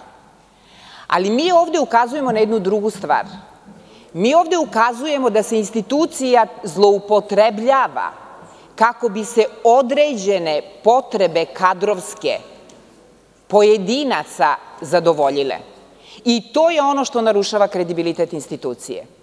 Mi smo do sada svaki put kada smo razgovarali o broju potpredsedničkih mesta to radili na kolegijumu u dogovoru sa šefovima poslaničkih klubova. Svaki put kada smo se dogovarali oko toga koja će poslanička grupa imati koliko potpredsedničkih mesta, takođe smo se dogovarali sa šefovima poslaničkih grupa. Zato što nije to potpredsednik predsednika Skupštine, to je potpredsednik Skupštine. I u tom smislu svaka poslanička grupa ima pravo da se dogovara o tome koliko ćemo imati potpredsednika, kakva će biti njihova zaduženja, zašto se povećava broj potpredsednika, ko bi taj potpredsednik mogao da bude i iz koje stranke bi trebao da bude. Dakle, vrlo brzo ćemo videti da li su upozorenja koje smo ovde izneli da se radi o rešenju jednog kadrovskog pitanja najveće političke stranke u vladajućoj koaliciji, da li je zaista bio razlog za to da predsednik bez dogovora sa šefovima poslaničkih klubova predloži ovakvu jednu odluku. I ono što je, dakle, nešto što najviše, ne može poslanik koji kritikuje vladajuću koaliciju da vređa ili da, da bude opominjan zbog toga što ukazuje na nešto što vlada ili vladajuća koalicija radi loše. Ovde je samo problem u tome što najveća stranka vladajuće koalicije još uvek se ponaša kao da je opozicija. Dakle, ona jedino što radi kritikuje prethodnu vladu. Dakle, ona apsolutno nema ni jedan jedini argument kojim bi odbranila sopstvene poteze, sopstvene stavove, kojim bi dokazala da ima nekakav rezultat u oblastima za koje ukazujemo da ne postoji rezultat ili da je taj rezultat loš. Ona se jedino i isključivo bavi kritikom opozicije. Gospodo, zaboravljate i mač i pogača i nož i pogača u vašim su rukama. Od vas zavisi kako će se u ovoj zemlji živeti, od vas zavisi kakve će institucije biti izgrađene u ovoj zemlji. A kada predsednik Skupštine od deset istupa, sedam puta istupa kao potparol svoje političke stranke, onda je to urušavanje institucije Narodne skupštine. Predsednik Skupštine je predsednik svih i on ne bi smeo da nosi stranački bedž. On bi trebao da bude neutralna partijska figura koja brani integritet Skupštine. Mi, nažalost, po prvi put, ja mislim da nikada do sada, ni jedan predsednik Skupštine nije u toj meri zloupotrebljavao svoju predsedničku funkciju kao što to čini sadašnji predsednik, time što se zaista postavlja kao glasnogovornik svoje političke stranke. To je nedopustivo i tako se ne gradi institucija. Hvalite se time da parlament danas izgleda civilizovanije nego ikad. Da, naravno. Zato što ono što ste vi radili u prošlosti, nama ne pada na pamet da radimo. Dakle, ono što ste vi radili kada ste bili opozicija, čupali mikrofone, polevali vodom, gađali cipelama, mi to ne želimo da radimo. Mi stvaramo kredibilitet ove institucije na taj način što se međusobno uvažavamo, što poštujemo ovu instituciju i zato, gospodine predsedniče Skupštine, kao ovlašćenom predlagaču ovog akta, ja vam kažem, pogrešili ste jer se niste dogovorili sa šefovima poslaničkih klubova, pogrešili ste jer niste argumentaciju koju sada nama iznosite izneli blagovremeno i mislim da nije, da nije na odmet biti iskren ako se već iskrenošću hvalite, pa čak i reći to. Mi imamo potrebu da imamo jednog potpredsednika zato što trebamo potpredsednika jer je predsednik koji je iz naše stranke strašno zauzet i ne može da obavlja sve te poslove i imamo prosto potrebu da imamo potpredsednika iz svoje stranke i to bismo razumeli. Potpuno bismo razumeli jer mi zaista razumemo da vi imate puno posla i da potpredsednik Skupštine koji treba da vas zamenjuje najčešće u vođenju sednica i obavljanju mnogih drugih poslova imate potrebu da bude čovek sa kim ćete moći da uspostavite saradnju bez ikakve dileme i bez ikakve rezerve. Čak bismo i to razumeli. Ali iskustvo nas uči da kako ste do sada na mala vrata vršeći pravno nasilje smeštali pojedine ljude, mi sada kažemo ovo, čak i ako to radite zbog jednog čoveka, trebali ste da to radite otvoreno i da kažete šefovima poslaničkih klubova mi imamo potrebu da imamo svog potpredsednika Skupštine, jer mi imamo potrebu da neko radi posao kada naš predsednik Skupštine nije ovde. Možda bi to vas, predsedniče Skupštine, oslobodilo obaveze da govorite kao potparol Srpske napredne stranke. Možda biste tada zaista mogli da govorite kao predsednik Skupštine. Mi bi vas u tome podržali, jer biste vi na taj način doprineli izgradnji kredibiliteta ove institucije. Hvala vam.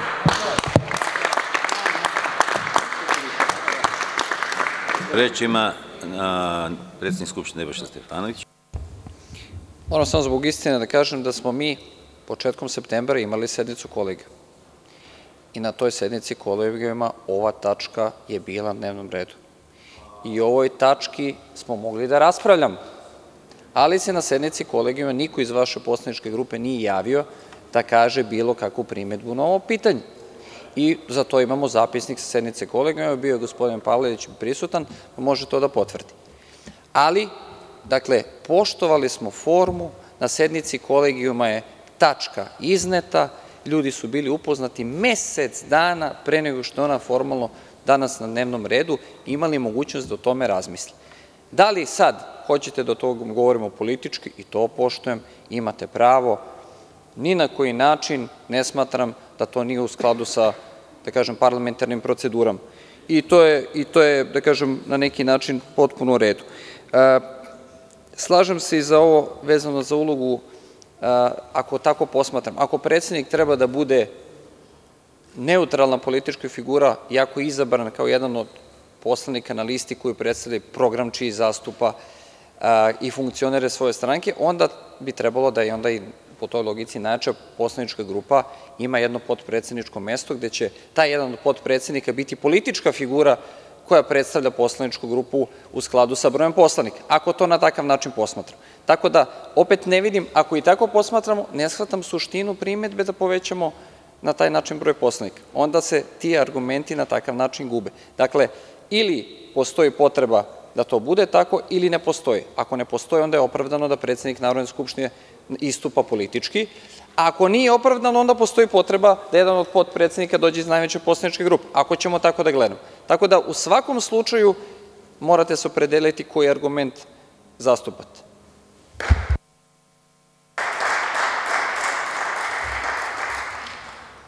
Narodni poslanik Nada Kolundževa, da, mada, gospođo Nado, ne vidim osnov, ali dobro, ajde, niste, izvolite. Direktno je meni.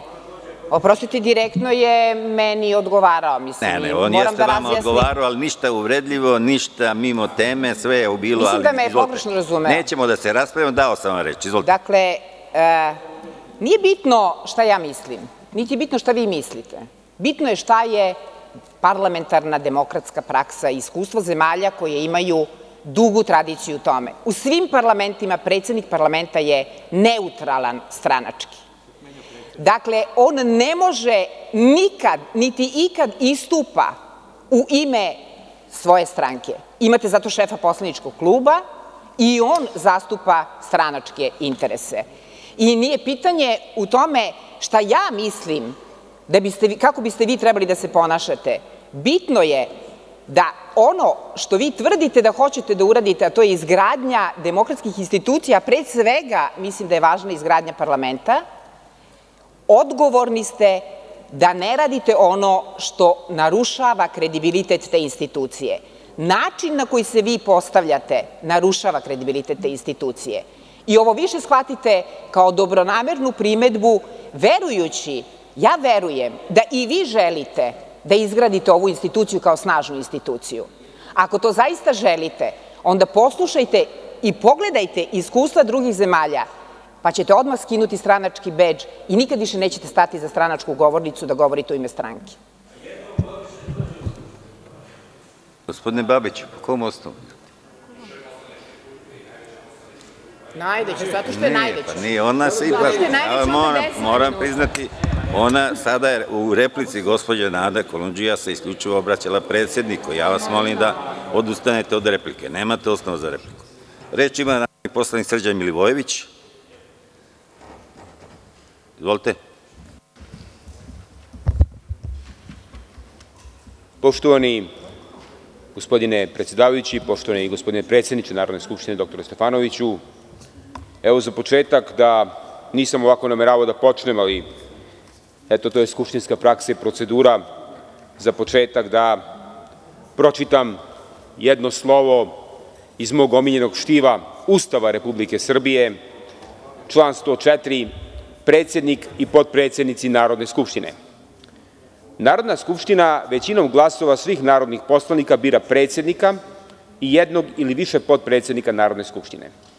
Predsednik Narodne skupštine predstavlja Narodnu skupštinu, saziva njene sednice, predsedava njima i vrši druge poslove određene Ustavom, zakonom i Poslovnikom Narodne skupštine. Ja sam uveren, gospodine Stefanoviću, da ovo vama nije bilo potrebno čitam, vi znate svoje ovlašćenja, kao što i svi građani Srbije znaju šta sve predstavlja predsednik Narodne skupštine. To je posle predsednika Republike druga najznačajnija politička funkcija u Srbiji. Mnogo važnija nego predsednik Vlade, a i tekako važnija nego prvi potpredsednik Vlade. Znači, predsednik Narodne skupštine je po snazi i uticaju koja proizilazi iz našeg Ustava jedna od najsnažnijih političkih ličnosti i institucija na teritoriji Republike Srbije, dogod važi ovaj sada malo o ovom izboru novog potpredsednika. Dame i gospodo narodni poslanici, ali pre svega građani Srbije, ako je neko mislio da je obstrukcija parlamentarnog rada od strane stožerne stranke vlastodržačke koalicije nešto najgore što je zadesilo ovaj parlament, evo danas ga ta vlastodržačka stranka demantuje. Ima i gorih stvari. Danas svedočimo da u ovom parlamentu mi prisustujemo jednom političkom obračunu, jer parlament se danas pretvorio u ring u kome se u borbi za vlast i uticaj razračunavaju u levom uglu Tomislav Nikolić sa desetkovnim poslaničkim klubom i u desnom klubu ringu uglu Aleksandar Vučić sa ostatkom svog poslaničkog kluba. Ovde je isključivo reč o sukobu unutar Srpske napredne stranke koji se preliva, nažalost, na Ne, parlament. Nemojte voditi računa o drugoj stranci, vodite računa o svojoj i vi vodite računa o dnevnom redu, molim vas. Ne, niste me razumeli. Mene to uopšte ne bi doticalo. Znači, Pa niti kako da nisam razumeo, svi su razumeli, da li ima sukoba u, u Srpskoj naprednoj stranci ili nema, nije tema rasprave i nije Ne, vaša svi znamo da ima, to uopšte nije tema, to se slažem. To nije tema, to, toga smo svi svesni da postoji. Ali, postoje se jedno drugo, mnogo važnije pitanje. Sada kada smo konačno demistifikovali da on u areni nije bio ni sajam zapošljavanja, ni slet, već predizborni skup, Gospodine postavlja se pitanje zašto gospodine biramo potpredsednika Skupštine kada se najavljuju vanredni Gospodine parlamentarni izbori? molim vas, molim vas, saslušajte me, saslušajte. Ili ćete se držati dnevnog reda, ili ću vam ja izreći opomenu. Ja vam se zahvaljujem, gospodine predsedavajući. Da postavim pitanje ovako. Izvolite. Da li ste ikada, vi, gospodine Arseniću, kao jedan od najstarijih poslanika u ovom sazivu, čuli da se pred kraj mandata jednog skupštinskog saziva bira novi potpredsednik? Na samom kraju mandata ovog skupštinskog saziva mi biramo novog potpredsednika. Mislim da je to nepotrebno. Mislim da ste vi poslali svima u Srbiji jasnu poruku da se Srbija nalazi pred vanrednim parlamentarnim izborima. Da li je svrsishodno da za ova dva, tri meseca do održavanja vanrednih parlamentarnih izbora, koji će proisteći iz nesuglasica među vama, mi biramo danas novog potpredsednika. Apsolutno verujem da je dobro da biramo potpredsednika Skupštine koji će braniti integritet Narodne skupštine, posle svega što se dešavalo u ovom parlamentu. Ja sam apsolutno uveren, kogod to bio, neću ja prejudicirati da li je to gospodin Arsić ili gospodin Cvijan ili neko treći, ali sam apsolutno uveren da predsednik parlamenta, a i potpredsednik Skupštine moraju da brane dostojanstvo Narodne skupštine. Da ne sme da se desi nikada više kogod predsedava Narodnom skupštinom, da li će to biti gospodin Arsić, Cvijan ili neko drugi, da se desi da ministar pravde u Skupštini preti poslanicima Demokratske stranke zato što iznosi istinu. Da ne može nikada da se desi u skupštinskim klupama da jedan poslanik ustane i kaže – ja sam ukrao karticu Srđana Milivojevića, jer mi je trebalo, nemamo kvorum ujutru u 10 sati, zlu ne trebalo, sutra bi možda dao kvorum s njom. Da nam se nikad ne desi da narodni poslanici u Skupštini Srbije optuže poslanika nemajući argumente da ga nadgovore, a nemajući želju da ga nadćute, onda izmisle da je primenio neki neprimeren gest. Time se urušava dostojanstvo Narodne skupštine i potrebno je da predsednik i potpredsednik Narodne skupštine brane dostojanstvo Narodne skupštine. Ja sam apsolutno uveren da ako to bude gospodin Arsić, da će on imati dobrog parlamentarnog iskustva, dugo je u parlamentu, ja ga znam kao vrlo lojalnog Tomislavu Nikoliću, da će on, znači, na jedan dostojanstven način braniti ugled Narodne skupštine. Da nam se više nikad ne desi da ovde dođe prvi potpredsednik Vlade i da drži predavanje kako da se vodi Skupština. Ja znam da vi to, gospodine Arsenoviću, nikad ne bi dozvolili. Ja verujem da vi imate jedan kredibilitet kao predsedavajući, jer se nekad ne slažem s vašim odlukama, ali sam apsolutno uveren da vi to ne biste dozvolili. Naravno, ovde je bilo reči da je prethodni skupštinski saziv, a pre svega ljudi koji su vodili ovaj parlament, činio ne znam kakve zloupotrebe.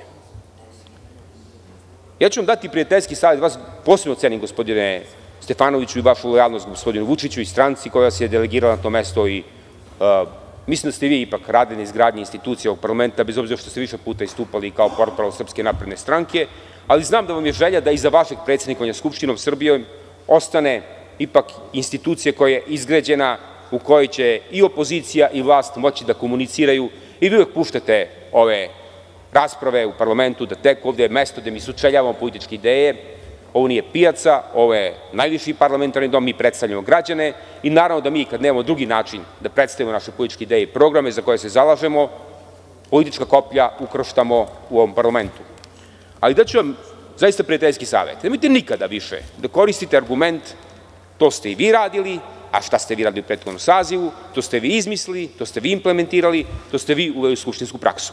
Vi ste pobedili na izborima sa tvrdnjom da ste bolji od nas, da ste vredniji. Onda nemojte da se pozivate na one za koje ste tvrdili su gori od vas i na njihovu praksu. Jer kad god pokušavate da nas kopirate, to ne ide. To ste probali sa evropskom idejom, ne može neko ko se 23 godine zalaže za evropsku ideju da bude gori od nekoga koji tek 3 godine na toj ideji i na toj materiji. To nije prirodno. Znači, nemojte nikada da to radite. To vam kažem kao prijatelj, kao član parlamenta.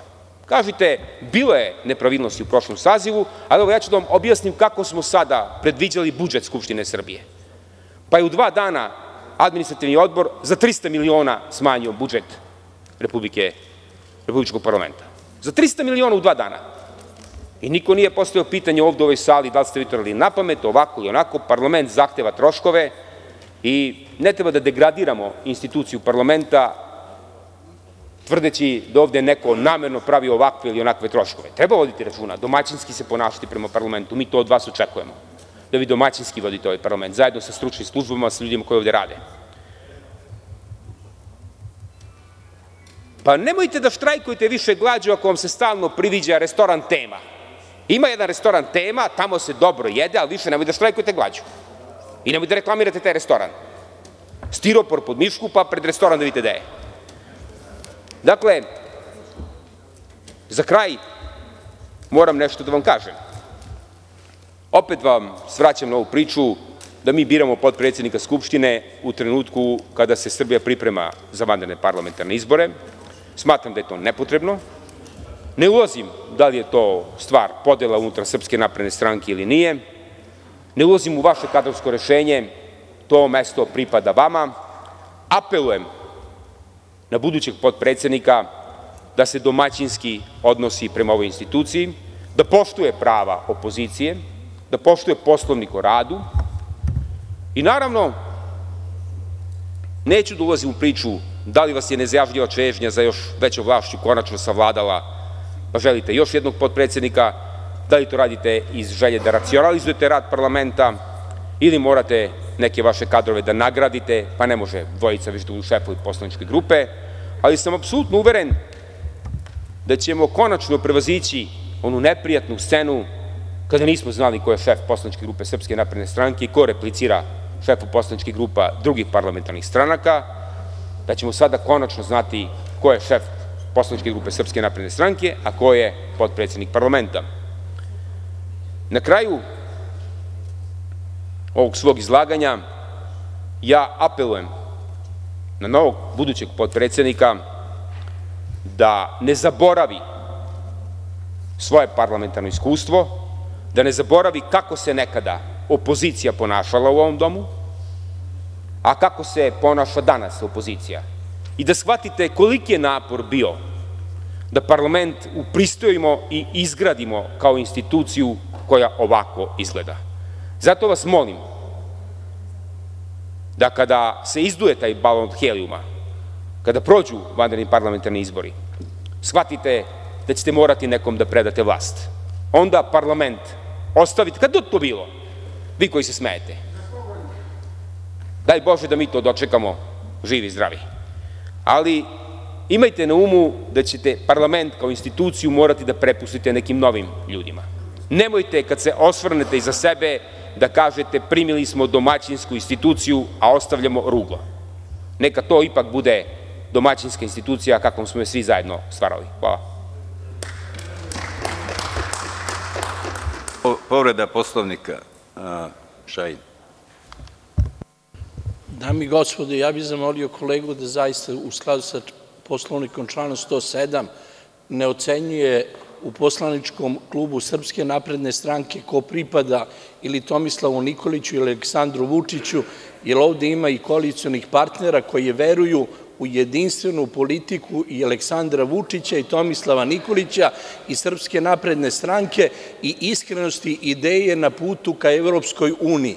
Za razliku od toga, mi kao romska partija nemamo iskustva kao u Vojvodini, gde je Dušan Petrović volšebno obrisao sa spiska narodnih poslanika u Skupštini Vojvodine, predsednika romske partije na jednim izborima i pored toga što smo imali koalicioni ugovor. Prema tome, molim vas da vodite o tome računa. Hvala.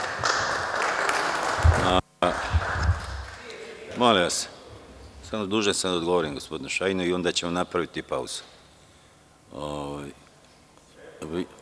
Replika će posle biti, pa ne, moram da napravim pauzu gospodine Babiću, vi dođete pa sedite onda ovde. Pa ne razumem, stvarno ne razumem to nestrpljenje. Znači, gospodine Šajin, molim vas, ja sam na vreme upozorio govornika i mislim da u tom smislu sam uticao da govornik ne raspravlja o drugoj stranci. Sada određujem pauzu od sat vremena i nastavljamo u 14 sati, s tim da repliku prvi ima, ne, ima povredu poslovnika. Iskoristite povredu poslovnika. Povreda poslovnika pa replika.